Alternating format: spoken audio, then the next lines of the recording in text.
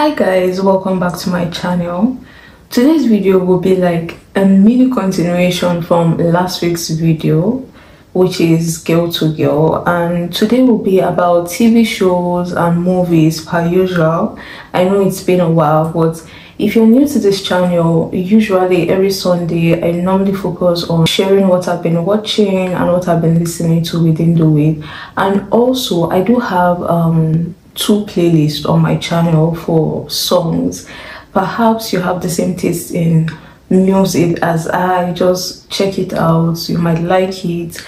I have playlist one which is just for Nigerian songs and then playlist two for every other song that is not Nigerian. So give it a listen or check it out. Who knows? You might like it and also if you're new to my channel even if you're not new i post every friday and every sundays. And also don't forget to hit the notification bell so you get notified each time i make a post.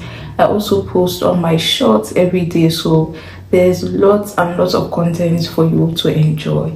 But let's get into today's video. What have i been watching this week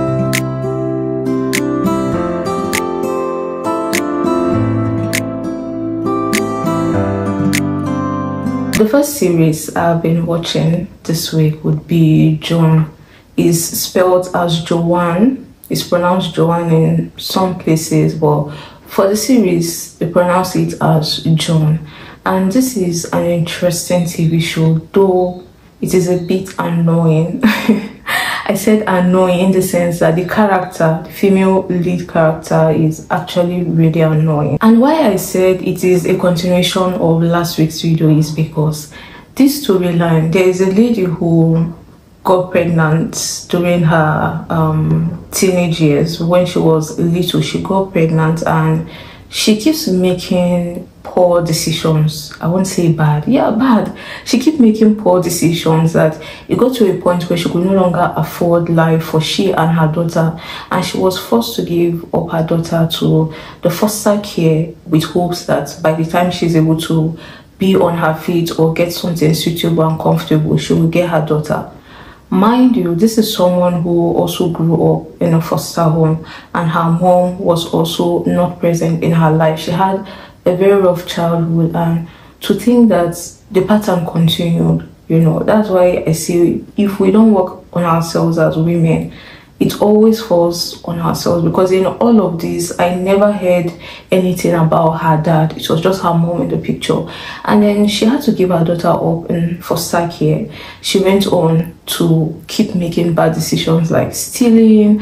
And guys the theft was not just normal store burglary or something. She actually stole diamonds. She swallowed it. And due to poor decisions she still lost all the diamonds. She lost so many things, you know, and she also lost her daughter in the process. So it is just such a sad experience, though it is not a true life story, but this is just a reality of what tends to happen in our society. So give it a watch, you will not regret it. And I feel like season two, because complete episodes of season one has been released, so we're looking towards season two and i feel like season two would be very bloody saying that she has made as many mistakes as she could or as she can and they are all grievous mistakes. So i feel now because towards the end of the scene she's like now i want to build an empire for myself you know. And when you've gone through so much in life the comeback is always brutal you know. So that's why i'm like i'm so eager to watch season two. So in as much as i see the character was a bit annoying just don't worry. I feel like season two will be so interesting and season one is also interesting. You should definitely give it you watch. For this series I just finished speaking on, you can find it on streaming platforms. And then this next one, Jailbird on the Run, you can find it on Netflix or I watched it on Netflix. And this involves a true life story of a prison warden. I'm not sure if she's a warden, but she works in the prison and she's someone who is a diligent worker and has been in that station for 17 years. So she was that go-to person for everyone. And then there was another man, or would I say guy, another man that was in the cell awaiting trial. And currently he's serving a 75 years sentence. And one thing led to another, they fell in love. She helped him escape.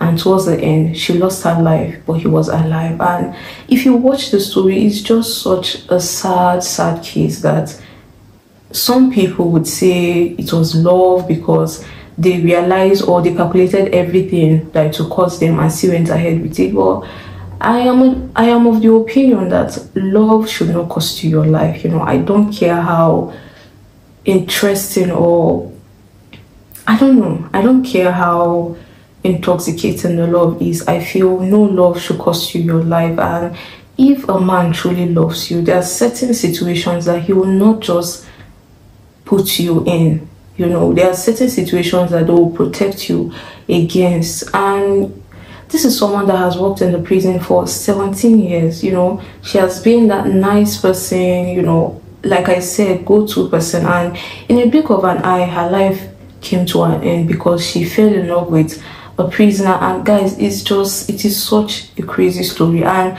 the most mind blowing part for me, my takeaway is she lost her life, and this man is still alive, and he gets on to still live life till whenever I think he later became on Capital Murder. I'm not so sure, but yeah. And it, this is a real life story, guys. She lost her life and he's still alive. So most times the the game is already rigged against you. So it is your responsibility, your duty to protect yourself. Because at the end of the day, if no one protects you, you lose your life, and there's no opportunity for you to even be alive to recognize the mistakes or understand the, your mistakes and how to do things better. The next series I watch would be An Invincible Victim, Eliza Samudio. You can also find this on Netflix. This is also another true life story and it is just super super sad and in as much as I say this series or movies is sad. It is very important for you, especially as a lady, as a girl, to watch this. And you know, there's always that takeaway message, you know, that lesson for you to get from these stories. And like I said, it's true life story. And which other way or better way to learn something if not from experience, be it yours or from other people?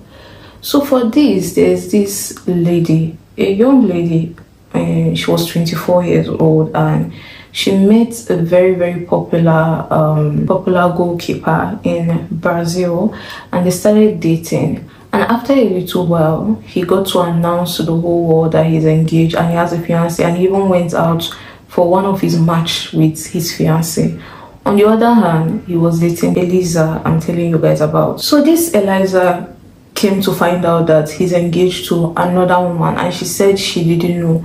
Okay now you know what's the next thing? Before you realize she's pregnant for this goalkeeper.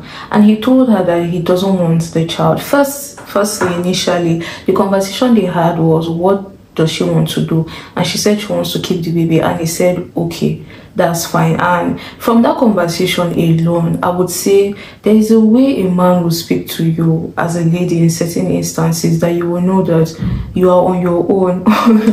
You know or you will know that this is someone that is not interested in being a part. But there were just so many red flags that she missed and in as much as some people would say she was confident and bold I would say there are some situations that doesn't require confidence. It's that same way they say you live to fight another day. If you die today, you will not be alive to continue to fight tomorrow. So it is of paramount importance to protect yourself first for you to be able to be alive to even continue the fight. And there were just so many mistakes that happened because from what I remember, her family members were aware of this relationship and I didn't or I would say personally, there was no point in time where I I knew to my knowledge that any family member even spoke to her about this part that she's choosing. And at some point you know they said um, she did different jobs which were not morally right which also affected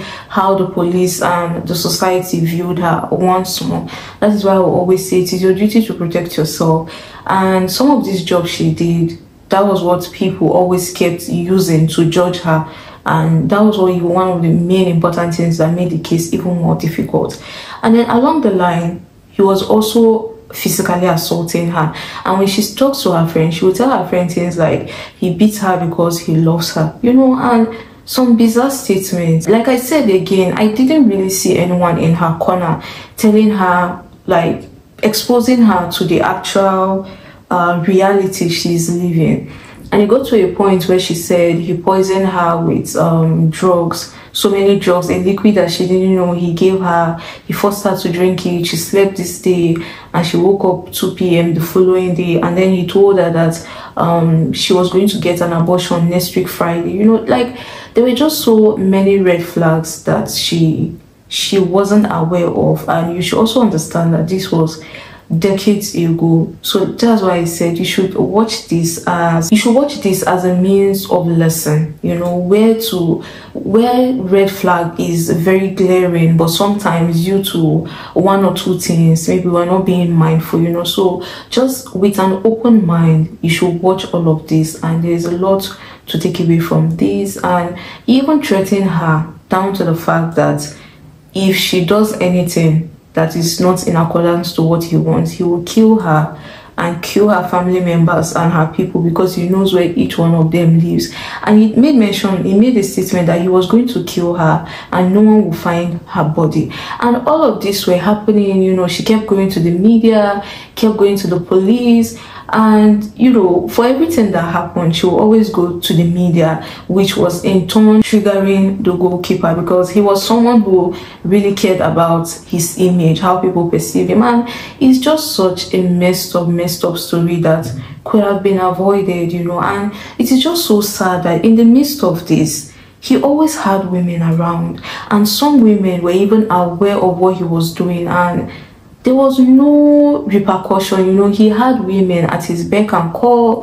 His ex-wife, not even his current wife, his ex-wife, there's still some ounce of support from her. She also assisted in uh, um, taking care of the child of the lady who died that's the Eliza you know. And it got to a point where according to her when she was handed over the baby she didn't even ask like get proper information of whose child that was before accepting the child you know. So a lot of men failed her. So many men because the plan and all this came to light because one of the perpetrators was a 17 years old boy who for obvious reasons he could not handle the trauma and what had happened. So he was the one who was even able to give the police a story or what um, the story behind what actually happened. So guys there were so many men involved from her capture down to her death and not one of them at any point in time could you know bring some sort of sense or order and call themselves that there's a better way to handle this. That aside, the crazy part is there was a lady or two ladies who were involved in also getting her to a particular vehicle, a particular site, and it's like you are a girlfriend or a side chick to this man and you are helping him do this to another person who supposedly has his child. What is to become of you should you no longer be of value to that person you know? So there's just a way that ladies tend to think that it is not right, it is not proper, and I really don't know how we're able to be in that mind frame, you know, that we, in as much as men can feel a woman, a woman should not feel a woman, you know. So please just give this series a watch as triggering and as annoying it is, you know. There was a point where her mom made a statement, she said, her daughter was bold, she was courageous, she fought. And another detail the mom gave was when she was a teenager, she also went through domestic violence from late Eliza's dad, that was her ex-husband. And to think that her daughter lived the same life this is that thing i'm telling you guys about pattern pattern doesn't have necessarily have anything to do with spirituality there are some patterns that if you're not intentional in breaking them it just happens haven't you seen cases where people tend to laugh and mock at people in certain situations, especially our parents. And then before you know it, without you even realizing it, you become that same thing, that same thing you once crucified. So, ladies, it is important that you protect yourself with everything you do, protect yourself. And the sad, the sad, sad, sad thing in all of this is he actually had a hand in her death. Till date, there was no really there was no conclusion to the story. There was no closure because till date they don't know where her body is. According to the 17 year old, that's the goalkeeper's nephew, he said after killing her, they dismembered her body and fed it to the dogs. But according to forensics, they said it is not possible because they checked where the dog is, and if they actually ate her remains, there would be a splatter of blood in the crime scene, but there was none. And guys, they tried as much as they could and there was no evidence in as much as there's a little bias from the police department. But you know like i said if you don't protect yourself the world will do like everyone will turn their back against you. And in fact in turn they will crucify you more on it you know. And it is just so crazy that after everything happened the sentencing and everything and they never got down to the roots of how everything happened because like i said till date nobody was found. Guys he did his jail term and he didn't even complete it because there was something that happened with a new government. He got released. He got inducted into soccer once more and he's now a goalkeeper living like enjoying like nothing ever happened. And this lady is late and no one even knows where her remains is. And when i watch tv shows like that it is just it is really triggering it is really sad and it is just sad, you know, really sad because these are things that could be preventable, you know, with the right knowledge. You know, so that is why I say it is not enough for you to be able to pick yourself out of some negative or wrong mindset. You should also, for the sake of others, pass it on to whoever cares to listen.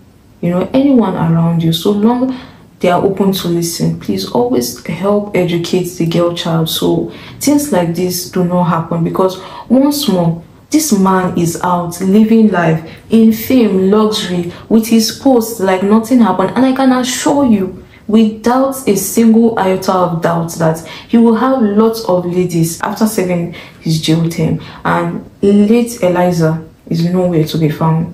And she never for any reason she never deserved what happened to her. Regardless, she never, never deserved what happened to her. So, ladies, protect yourself. The next one can also be found on Netflix and it is called Into the Fire The Lost Daughter.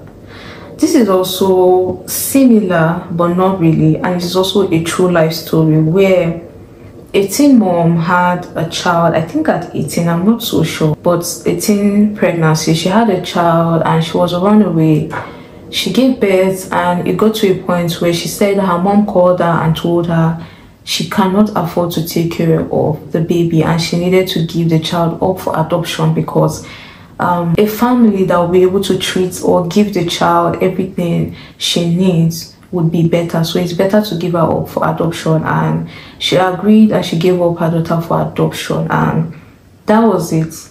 Decades later, I think about three decades later, she, will, she would have been 30 something years at this point, and the mom fell in love and from one reason or to the other she according to her she said for the first time in her life she experienced unconditional love. And that was what um, encouraged her to go in search for her daughter because she was always at the back of her mind and she was hoping that perhaps one day her daughter will come looking for her. When she started looking for her daughter, she came to realize that her daughter went missing at age 14 and then she realized that from investigation little by little little by little she realized that there was little to no investigation after her missing. And the story behind her missing was just so fishy.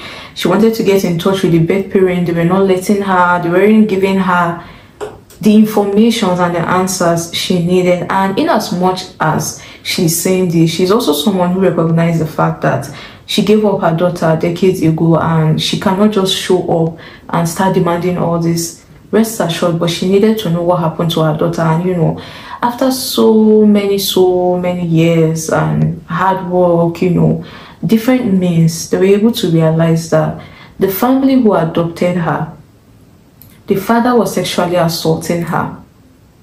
Her stepmom after a while was aware but I would say she turned. I would. I don't. I don't even know how to classify it. If she turned a blind eye, or for some reason she believed so much in her heart that her husband was not like that. I don't know. I. I. I. I honestly don't have words for such women. I don't understand. You know, and I would say I refuse to understand. You know, and so many places failed this girl. The church failed her. School failed her. Uh, um, police failed her. Like everyone in her corner failed her, you know. And the story they gave initially was she ran away from home and it got to a scene where her mom was saying it's so crazy that she was also a runaway and now her daughter is now a runaway. And then after all said and done, it was discovered that her dad was sexually assaulting her.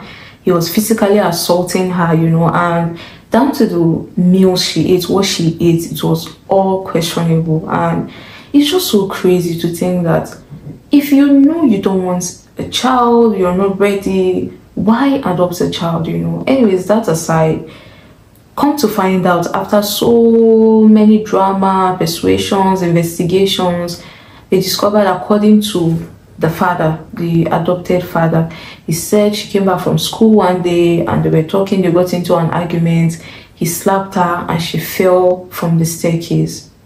And according to the mom, which is also another angle to look at, it is it is a bit weird to think that a 14 year old girl will fall from a flight of stairs that is not really high per se and die flat out, you know. And like I said, after so much persuasion, the man was able to tell his wife that her body is in their house, their backyard.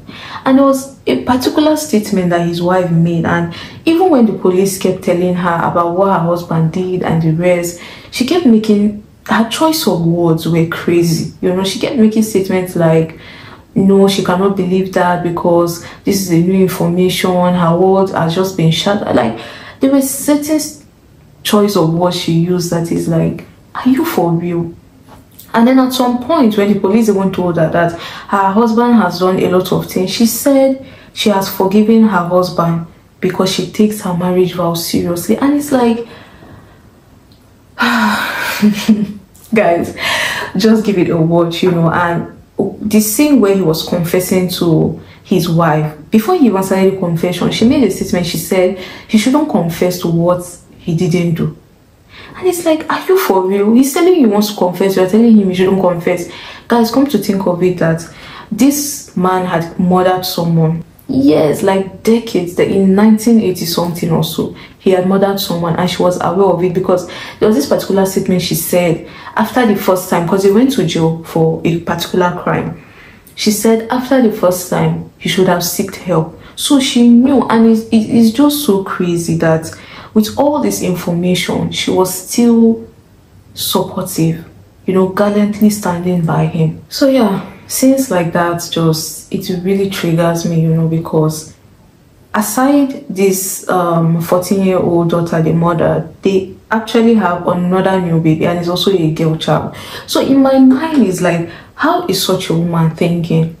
or because you think he did that to his adopted daughter, he can't do that to his biological daughter. And guys, he also raped or sexually assaulted another lady who actually helped the mother in um, finding the answers to all their questions. He raped her when she was six years old. So, like, he has a long spreadsheet of rape, violence, like crimes, hideous crimes against women. And to an extent, she knew a number of the things he did. And like I said, I don't know. I do. I like. I just don't know how women like that think, how they do things. Especially when she said she has forgiven him and she takes her marriage vow seriously. So it's just so crazy, you know, when you watch stories like that, true life stories, true life stories. You know that that girl did not deserve this life. She did not deserve the life she went through, and it is just so sad, you know. Just take your lesson please. Just make it your duty. You must not make it your duty because so that it will so that it won't seem as work but just make it a point that if you come across any girl child who is listening who cares to listen to you in fact even if she doesn't care to listen to you do right by her by telling her what is true and leading her to the right path. However she chooses to do with that information is up to her but just do your part you know the work is too much for one person. We can all collectively do what is right in our own little way you know. It could be just one person two girls it doesn't matter. Because in all of these stories the women lose their lives and the men still happen to be alive sometimes even go ahead to live even more prosperous lives than you who is the victim or was the victim. So it is really important, I will say this again, that you as a girl, as a lady, as a woman, it is of paramount importance that you protect yourself before anything because society will not be there to protect you. The same men will not be there to protect you. They will even shame you on top of that. So be wise. And then for the last movie or yeah series as well, guys, I'm so sorry if it's a movie or series. I I am complicating all of them. My bad, but I think most of them, if not all, are series. Some like two episodes or so. So yeah, just give it a watch. I will leave the picture beside so you know exactly which one I'm talking about. The next series, this cannot be found on Netflix. I watched this on a different streaming platform. It's called Paris Has Fallen.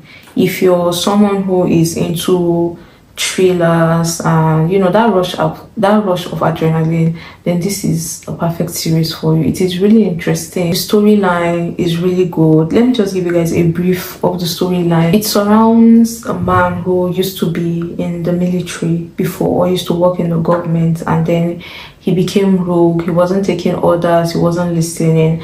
And then there was an order that was sent for them to kill him since he was refusing to act in accordance. But unfortunately, they ended up killing his family because they set the bomb under his car. But instead of him, his wife and his kids got into it heading to the market, so he lost them. And then on top of that, they betrayed him to the Taliban's. And guys, if you see what they did to this man, he said he was tortured, he was raped, his whole body was burnt, like a good part of his body from his neck, like half of his face, his neck guys. This is a sight that's a sore sight i would say because you can't imagine the kind of pain that such person would have gone through that the rape and torture is one thing but those bombs guys it is just you cannot understand the kind of pain such person would have dealt with upon seeing and he did not just hear of it he actually saw when the car exploded with his wife and children. So now he's back for revenge for all the people that were involved one way or the other and gave him up to the Taliban because he said he lost about 23 men. And each person he contacted to do one thing or the other, they would always prove that they are smarter than, and he killed each one of them, and their deaths were brutal. There was even this, I think, a minister also, he asked for 100 million euros. The minister refused. After he had killed someone um, close to the minister, his wife advised him that it's just money, you should give it out. He paid the 100 million euros only for them to catch this man come into his house where his wife and son were sleeping, caught this man, took him to a secluded location, and he also said at some point that he is a man that cannot be bought and he is a man that cannot be negotiated with. Guys, they got to a scene. They went to cash out 100 million euros, or is it a million? No, 100 million euros in cash, and they set it on the floor and kept him on the money and burnt him with the money. Every single dollar, they burnt the man. And then his next target was the president. That's his last target. And that's where I stopped, or that's where all the release. Because so far, there's been just three episodes out and I think they release every week if I'm not mistaken. So I'm really looking forward to the next episode and I'm sorry if my storytelling skills are poor. I did my best, guys, but trust me, they are really interesting, interesting TV shows. You should give them a watch. And for my ladies one especially, all these real life stories I have shared, it is important to watch them and take your lessons. You know, no love should cost you your life. There is no human being on earth that should lift their hands on you and you give that excuse that it was done out of love it is not possible. There is no love that looks like that. There is no love and violence do not go together. It is impossible. So please, you deserve better and you can do better. You know, just protect yourself with your life. Self-love, practice self-love. Protect yourself and yeah. Thank you so much for watching this video. I hope this today's video wasn't such a bore. I figured we haven't spoken about movies in a long time and I happened to watch a number of movies so I was like why not? Let me share it with you guys. And once more for songs. Guys I've actually still not been able to listen to songs and once more I know I sound like a broken record but a few times I've been able to be able to listen to songs. I've been listening to Longo Boy Been listening to He Is. And yeah just these two albums um, guys i've been a bit busy. That is why i don't know if any one of you have been checking the playlist. I have not uploaded new songs in a while.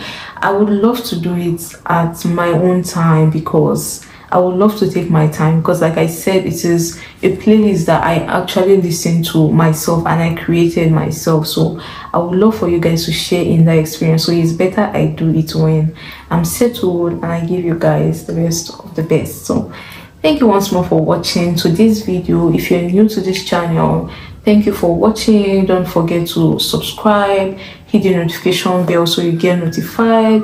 There are lots of content for you to enjoy. To my old and returning viewers thank you for your constant support and i really appreciate if you guys leave your thoughts in the comment section or recommendations on what you would love for me to watch listen to or share. Um if this video resonates with you don't forget to hit the like button share so that we'll keep the conversation going and yeah subscribe. I'll see you guys next week. Bye